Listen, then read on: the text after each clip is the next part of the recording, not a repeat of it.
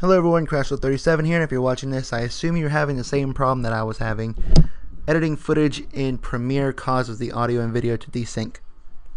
The reason for this is because of variable frame rates, and if you look for a solution online, the most common response is, Premiere is a professional grade program designed to edit professional grade footage. Fuck that. You be whatever you want to do. Wanna be. Wallaby. Anyway, I'm going to show you how to make it work. First, you need to download Handbrake which you can do by clicking here or clicking in the description. Then click on Source and find the footage that you want to fix. Now click Browse and pick where you want it to go. So this is a 720p video.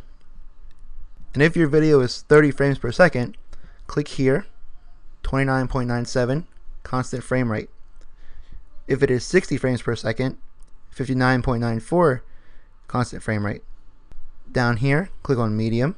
It'll take a bit longer, but your quality will be better. And over here, move this over to 23. Now here's where I got stuck for quite a while, the audio. It's actually very simple. Click here, auto pass through, and you're done.